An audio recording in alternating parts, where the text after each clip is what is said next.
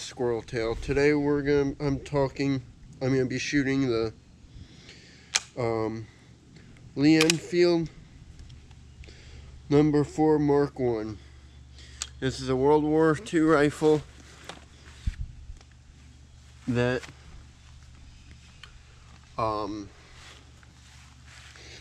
was based off of the SMLE rifles that you'll see in a lot of World War One movies.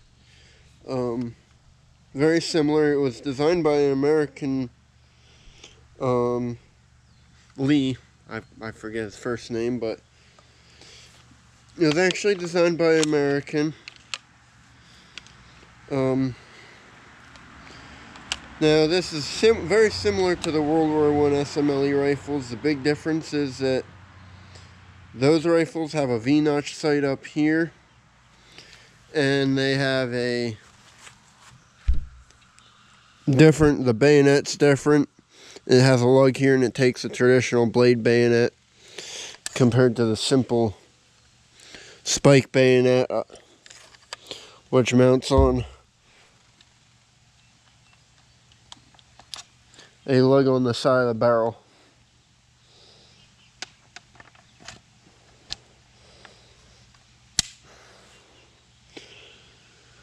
Um,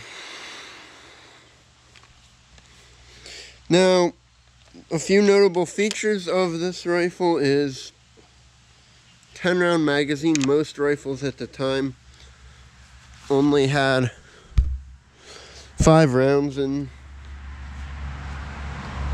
it is a detachable magazine as you can see here.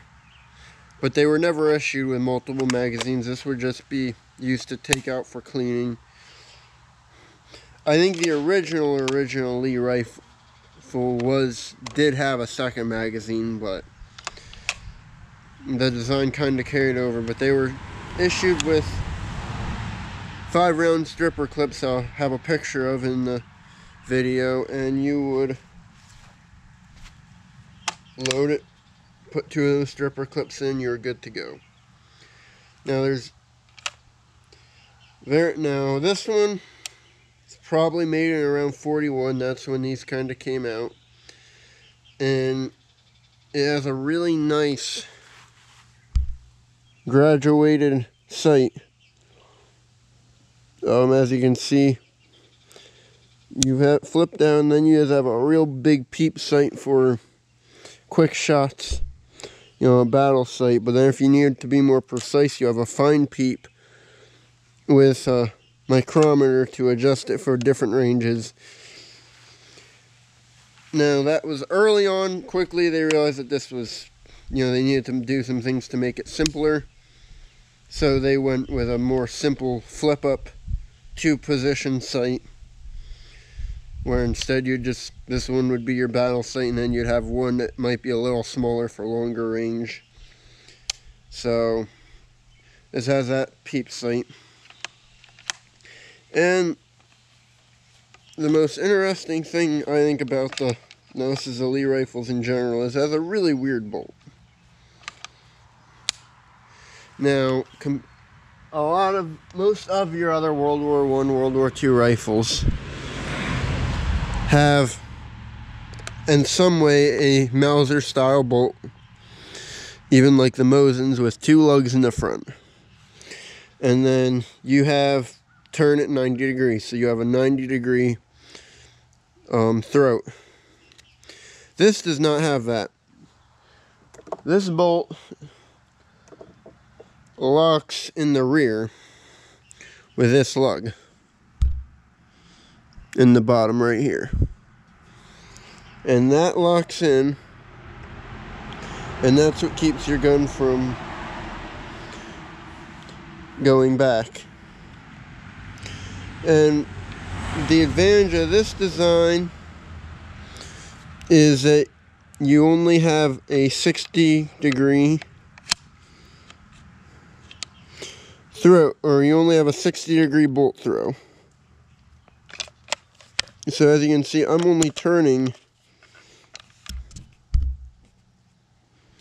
when I close that bolt instead of going a whole 90 degrees, I'm only going a third of a turn. And doing some dry firing. They said that that made it faster.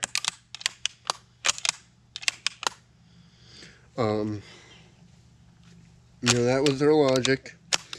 On the downside, I this is not good for higher pressure cartridges. 303 is a, a semi-mild cartridge. So, you know, you probably, if you want to go with something like 8mm or 30-06, I don't know if it would handle the pressure, but I could be wrong there. But you do only have one lug, and it is in the rear.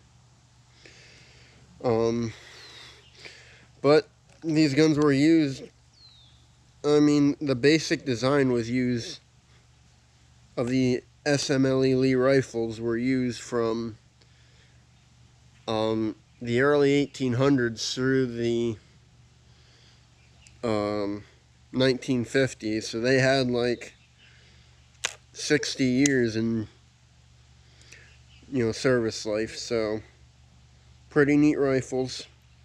Guess this one of what I can see was is made around 1941, so it's an early one, which is kind of neat. So now, hope you enjoy watching me shoot it.